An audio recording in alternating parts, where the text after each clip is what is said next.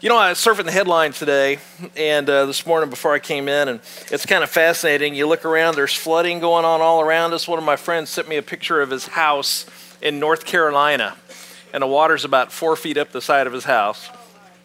You see people uh, from Hurricane Sandy out on the East Coast are now five months without electricity.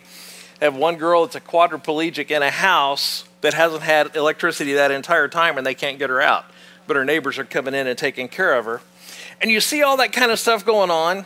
Uh, yesterday in Pakistan, over 100 Christian homes were burned down by Muslim rioters. And you ask yourself, I mean, you have to ask yourself, what in the world is going on? How did things get so messed up? Well, let's dive in and let's look at it. Okay, so here we go. Follow, follow along with me in your listening guide there. Number one, how did the world get so messed up?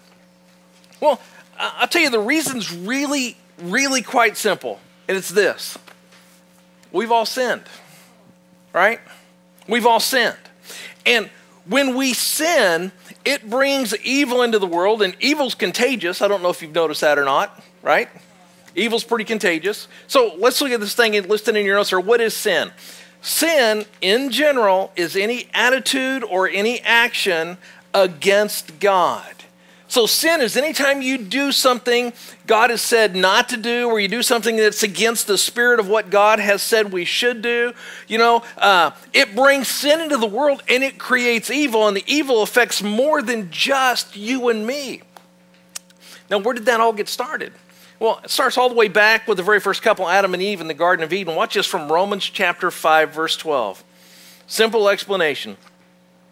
Sin came into the world because of what one man, that's Adam, did, and with sin came death. So there was no death prior to Adam and Eve sinning in the garden, but death came in with Adam and Eve, and we've all been culprits too. Ecclesiastes 7.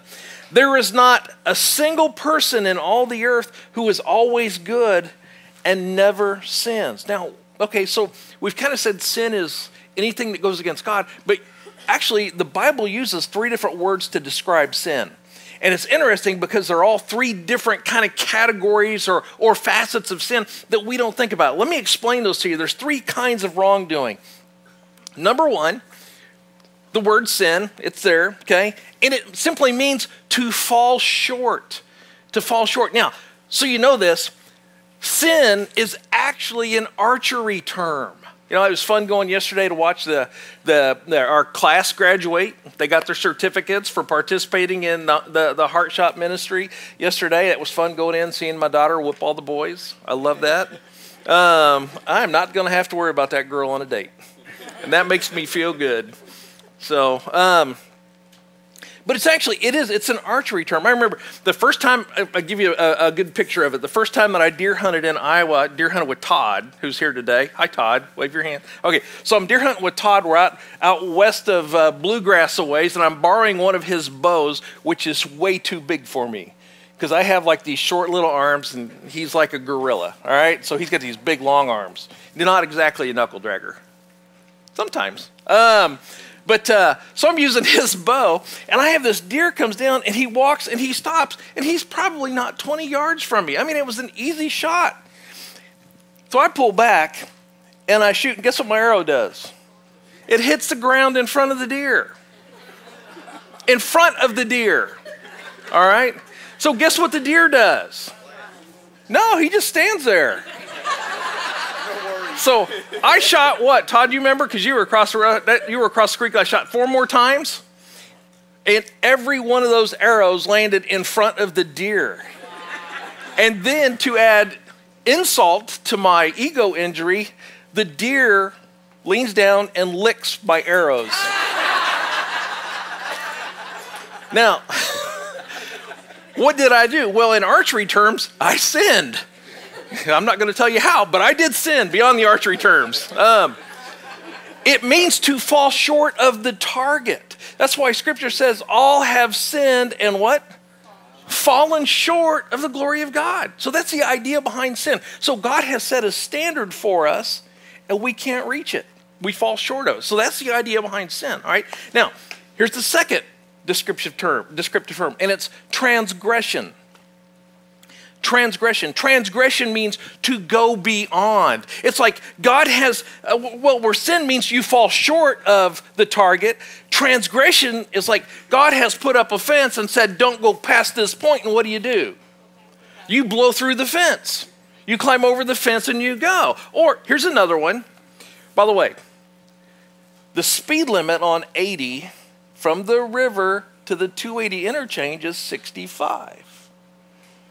Now, people from Illinois don't know that. I'm just informing my Illinois people. Because I think every car that we've ever pulled over when I've been riding with my troopers has been from Illinois coming into the, the free land. Um, escaping the asylum and coming over to where normal people live. Okay, so when the speed limit is 65 and you decide that you are going to drive 80, guess what that is? That's a transgression because you've gone beyond what it is. So I've decided I'm going to willingly, I'm going to go past what the law has said. So God sets a boundary for me and says, don't go past this, don't go into this area, don't do this, and I choose to do that anyhow. That's transgression. All right, now here's the third one. The third one is iniquity. Iniquity, if that's the evil within me, wouldn't that be a great movie title? That's what I was just thinking. I thought, man, that, I should write a movie. Yeah, okay. The evil within me. Iniquity is about what's inside my heart. I mean, iniquity, it's an attitude of my heart. It's about my basic disposition to just decide I'm going to do my own thing anyhow. I know what the rules are, I know what the goal is, I know where the boundaries are, but I really don't care because I want what I want, what I want. And so I just decide I'm going to wander away from God. Now, there's a reason why God refers to us as sheep so many times. You know what that reason is? Sheep are stupid. They are. Sheep are sheep. Sheep are just like they're like amoebas with fur. I mean, they are they were wool. They are stupid, you know. And sheep get in trouble. They we used to do things to sheep at my grandfather's farm. My grandfather was actually a shepherd, and, and uh, I think my brother Tim and I, when we were little, we'd actually go out and get sheep, and you know we, he didn't have cows, not really, at least no cows we were going near, and uh, so we didn't have cows to tip, so we picked on the sheep. And what you could do with a sheep is you could cover his head and drag him into another room and take the bag off his head, and he did not know where he was. He might have been in that room a thousand times in the barn, but he was lost. Or you could get him and you could actually lay a sheep down and hold him down long enough, he would forget he was down and think he was still standing up, and he would be fine and he would just stay there. So sheep are not smart. When God calls you his sheep, yeah, it's you know, it's not like a refrigerator magnet type love saying, okay? He's telling you just how stupid you are apart from him. Isaiah 53 We all, like sheep, have gone astray. Each one of us has turned his own way. In other words, everybody's doing his own thing. So God says, I want you to do this and go down this path, but we say, eh, I like this one over here. I'm going to go down this path. So we have this tendency to wander away from God and do what we want to do. That is iniquity. It's my natural disposition. It's my rebelliousness against what God has said. Now, check this out. I love this next verse we're going to look at because you see all three of those kinds of offenses in one verse. Watch this Psalm 32. I acknowledged my sin, which is what? Falling short of the goal. I didn't live up to the expectation. I acknowledged my sin to you and did not cover up my the rebellions of my heart, the rebellious nature of my heart. I said, I will confess my intentional violations of the boundaries. And I love this. And you, God, forgave my guilt. And that's beautiful. But that gives you a word picture so you understand. It's too, too much of the time we just try to make sin a small thing. Sin's pretty broad. Right? So, in my rebellious nature, let's go to the next thing. B, why do I choose to go against God? Why do I choose to go against God? One, it's in my fallen nature. I mean, I've got a sinful nature that I inherited from Adam, the very first man who ever sinned, and that means I am predisposed to go my own way, right? Have you ever tried to take a toddler to a public place and let them walk beside you? What do they do? They go their own way, right? It's, it's part of our natural disposition to just take off and do that. Romans chapter 8. For the sinful nature is always hostile to God. It never did obey God's laws, and it never will. Listen, when you're in Walmart and you see that woman dragging that screaming kid down the aisle by his leg, Romans 8 7. Okay.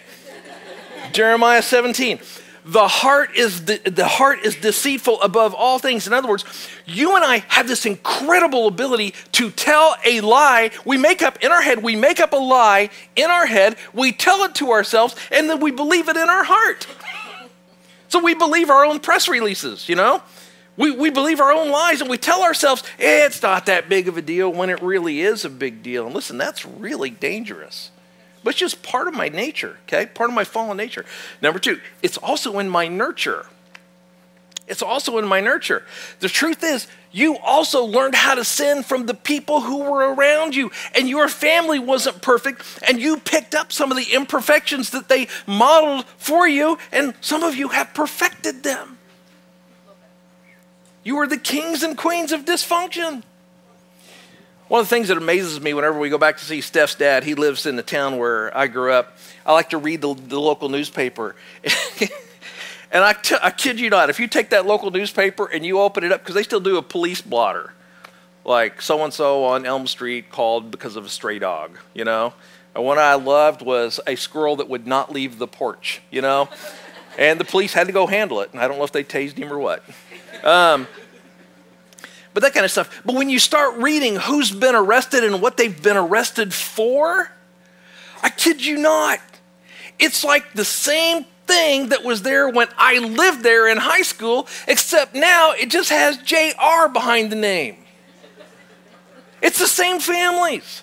You know, there was a study done across jails in the U.S., and they found that in just about any given jail in the United States, that between 60 and 70 percent of the people in the jail were related to each other or from the same neighborhood.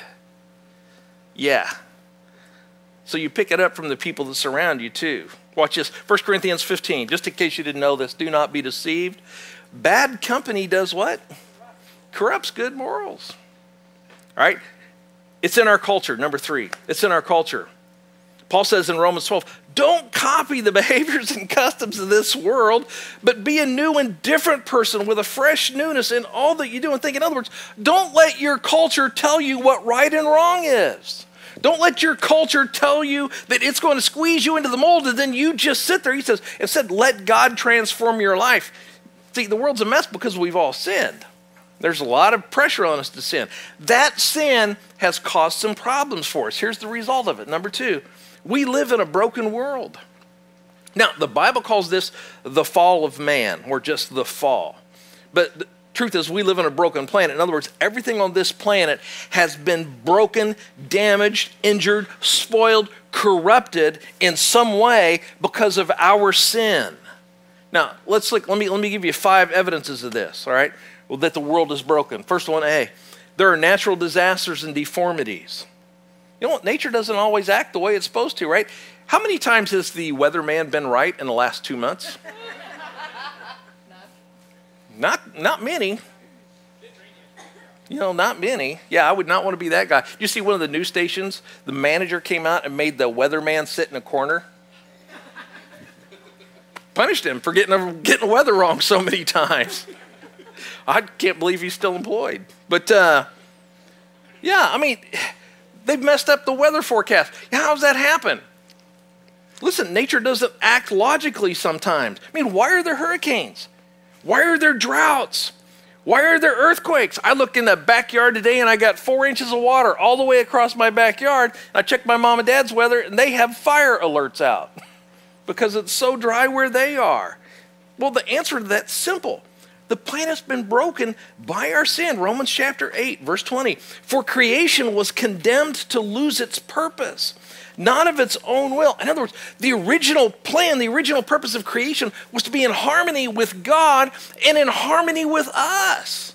So we would be in harmony with God and nature, nature would be in harmony with God and us, God would be in harmony with us and nature. But then sin fractured that. And our sin shows up in everything from fire hazards in Texas to flooding on the Mississippi River to deformities in a newborn child to diseases we have to deal with. It's a result of sin. All right? Next thing B there is physical decay and death. Physical decay and death. 2 Corinthians 4 Our physical body is becoming older and weaker simple glance in the mirror in the morning. We'll tell you that one, right? We're on a broken speak for myself. we don't even want to go down there. Okay. Yeah, we live on a, a broken planet, right? All right, next thing, C. There's emotional stress and disappointment. Why?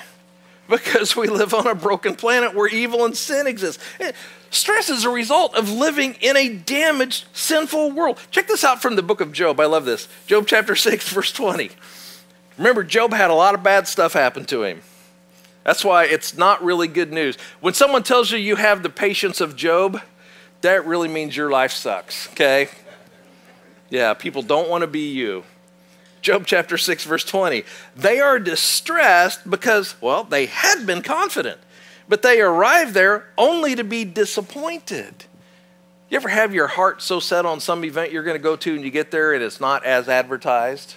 Yeah, that's what he's talking about. Only he's saying that's how life is. People live and they've got these big dreams, and when the time comes, it's not what they thought. See, Scripture says the only thing you can trust is God's truth, right? Everything else is going to let you down. Everything else, you, you got a high probability of failure in. That's why it's so important, those of you who have kids, you have got to teach your kids how to handle failure because they're going to have more failure in their lives than they're going to have success. Believe me, they'll handle success pretty well. It'll freak them out at first, but they'll handle it. Failure, though, is going to be a problem if we don't teach them that they're going to live through it. Or, as uh, a friend of mine says, we've got to teach them to fail forward, to learn from the fail and move on, right? Nobody succeeds at everything. All right, next thing, D since we live in a broken world, there's relational distance and discord. I love this verse about Adam and Eve before they had sinned, Genesis 2. Now, although Adam and his wife were both naked, neither of them felt any shame. Listen, Adam and Eve, they knew this innocent, secure intimacy, not just physically, but emotionally and relationally too. I mean, they didn't have baggage from other relationships, right? They didn't have baggage from other things that had happened to them. There was no embarrassments. There was complete openness, complete trust. Sin changed everything. Genesis 3 7. At that moment, their eyes were opened and they suddenly felt shame at their nakedness. So they strung fig leaves together around their hips to cover themselves. Here's the point when they sinned, it didn't just disconnect them from God, it disconnected them from each other. And you and I have been dealing with that from the very beginning. We've dealt with it ever since. I mean, you think about it. Every single conflict you have is based on sin or insecurity caused by sin. Every single marriage conflict you have is based on sin or the insecurity that comes from sin. So the bottom line is how are we going to deal with it? As part of that learning how to fail, right? Well, part of how they're going to succeed is you're going to have to teach them listen, when you come to that point, you choose to either grow up or you grow apart in every relationship, right? Nobody just stays the same. You're always moving. So you're always growing up or you're growing apart. Those are your options. And in your marriage, you're either going to grow more mature or you're going to grow apart. People say, well, you know, we're just, we've just decided that we're incompatible. Let's just be honest. Incompatible is a legal synonym for immature. I mean, it's your choice. You choose maturity or you choose immaturity. If you want to be selfish, yeah, God's going to let you be selfish and you're going to deal with the conflicts for the rest of your life. I mean, understand this. If your life is always surrounded, no matter where you go or what you do, there's always drama swirling around you. you know, if you're not an EMT, that's not normal. If you're an EMT, we expect that, right? We kind of hope they're used to that. well, not their own stuff, but our stuff. Yeah. We're kind of like Pigpen in the, the cartoon, right? There's always a cloud of swirling stuff around us. Listen, if you want to be selfish, you're always going to have that. But if you learn to both grow up, if you both learn to give, if you both learn to grow together, guess what's going to happen, Pigpen? The dust will settle. So, the relational question that plagues us is this What's your fig leaf? What's your fig leaf? What is it you're wearing to keep people from seeing you? What is it you've got between you and other people? What's your fig leaf? Now, having said that, if your fig leaf really is all you have, please continue to wear it. if you don't have clothes, right? But that's a consequence of the fall. And it prevents us from finding the very thing we're looking for, which is to know and to be known. All right, next thing, E. There's a spiritual discontent and darkness. So, this Bible character, Job, was the wealthiest man in the world during his day. And he described that spiritual discontentment, this spiritual darkness, like this Job chapter, chapter uh, 6, verse 18. He says, I am like a caravan lost in the desert while searching for water. That's pretty hopeless. You know, when I was pastoring in Oklahoma, I was going to help with the funeral of a young gal who died, and she's very popular at the school as a teacher, and there were going to be, I mean, there were like thousands of people that came out for this funeral. And the burial was about an hour and a half away. And so we, uh, I, I riding, I'm riding in the hearse, and the, the hearse has decided, okay, we're going to, we don't, I've got this kid who's brand new at the funeral home. He'd been there a week. He's going to drive the hearse. They told him, follow the car ahead of you, and we'll get you there, because this cemetery was off in the middle of God's nowhere in Oklahoma, which is a big, wide area. And uh, so we took off driving. We had like 40 cars behind us and stuff. And so we're going along, and he and I are yapping and talking in the front and telling stories and stuff. And all of a sudden, I look up, and we're pulling into McDonald's in this little town in Oklahoma. It's like, what are we doing in McDonald's?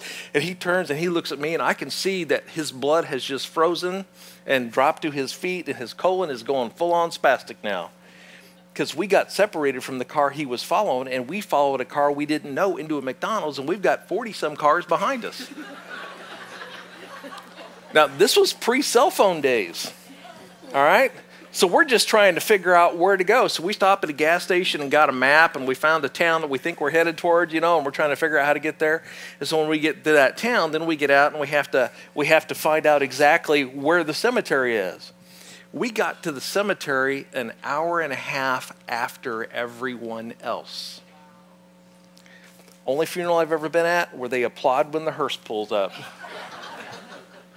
now, that wandering around, I mean, that's kind of that idea. I'm lost. I'm not even sure where I'm going now. I have no idea what's going on. And you've got Job saying, I'm like I'm lost like I'm a, a, caravan in the desert. I don't even know what I'm thirsty for. I'm just out here wandering around. See, when you get disconnected from the source of life, when you get disconnected from your creator, it's going to lead to an emptiness inside of you that is going to eat you alive and it's going to lead you into a spiritual darkness. Ephesians 4. They've refused for so long to deal with God that they've lost touch not only with God but with what?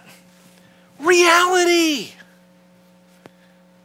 Listen, that's not a pretty picture.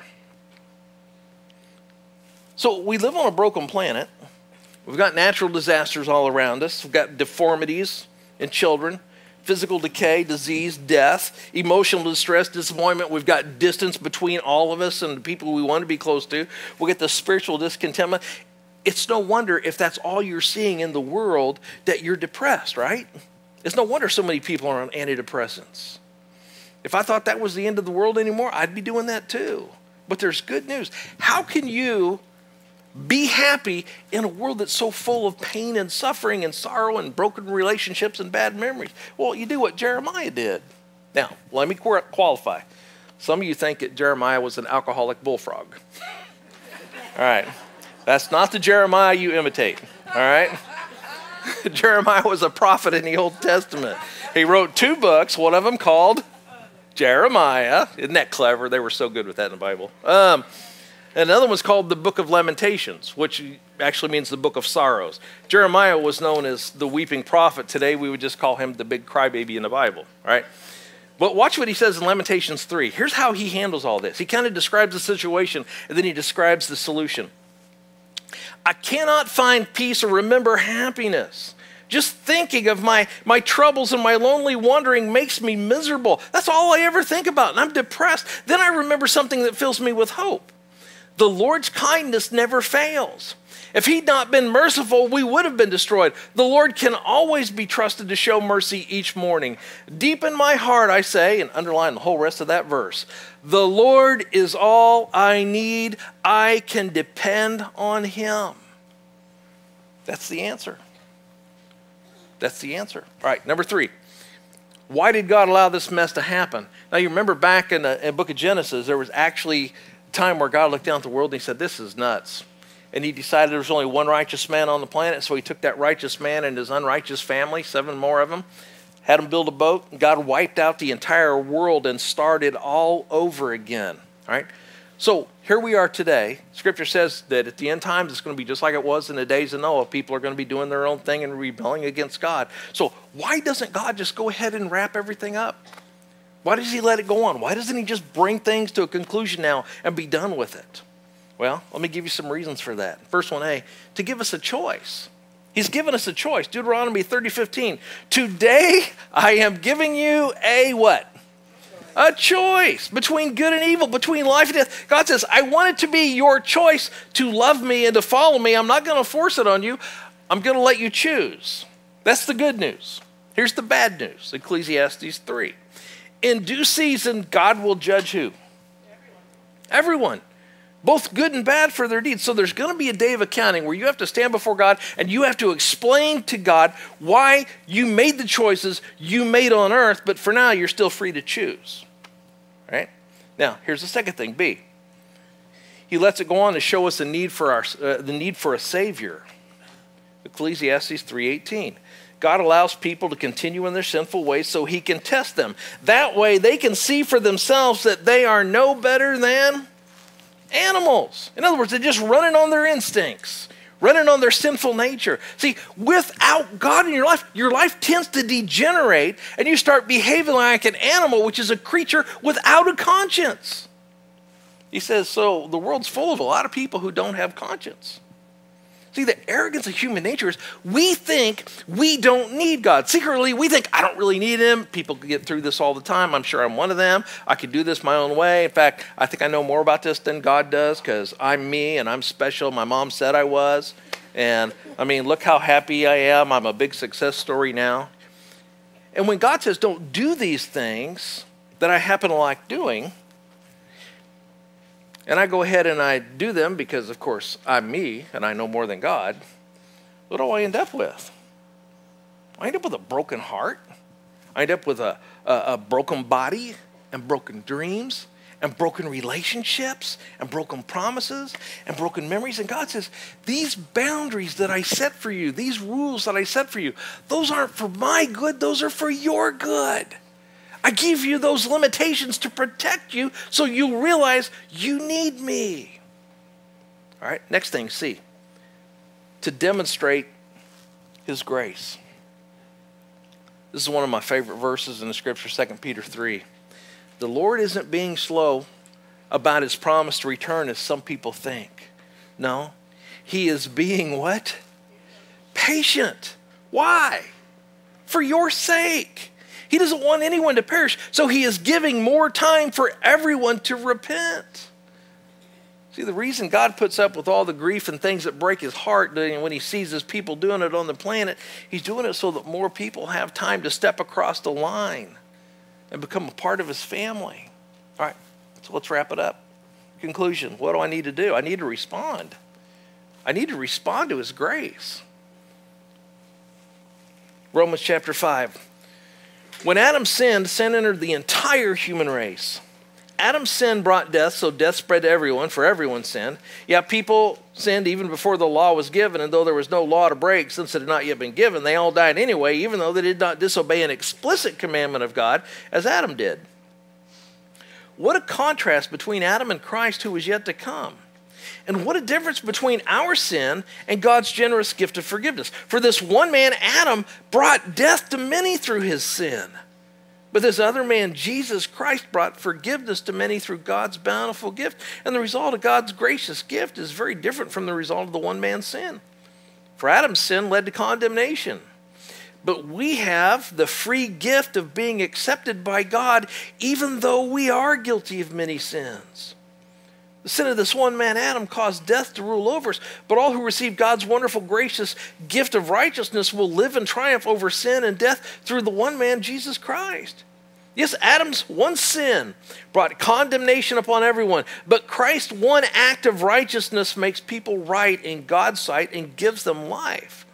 Because one person disobeyed, many became sinners. But because one other person obeyed, many will become made right in God's sight. Would you pray with me? Father, as I look out on this service, I realize that there's a, there's a lot of pain right here in these hearts that are present today. There's a lot of concern, there's a lot of stress. Father, people who are in relational discord, they're in a world of hurt. They're in distance or they're in Uh, they're dealing with emotional distress, or Father, they've gone through a big disappointment, or they've had a death of a loved one, or they're having problems with their bodies, or all these things that are being a part of a planet that's been broken by our sin and our evil. Father, a lot of times we don't even know where we're going. Father, I pray this morning that these who are here would turn their needs and their hearts to you they would not just go out and continue to wander their own way, but that they would yield to you.